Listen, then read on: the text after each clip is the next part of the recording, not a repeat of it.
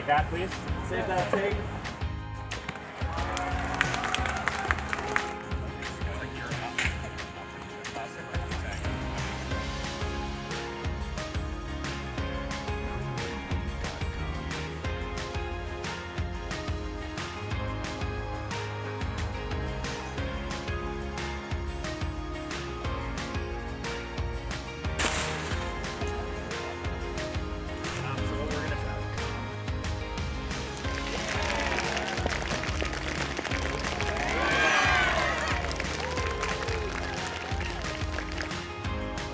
He's dead!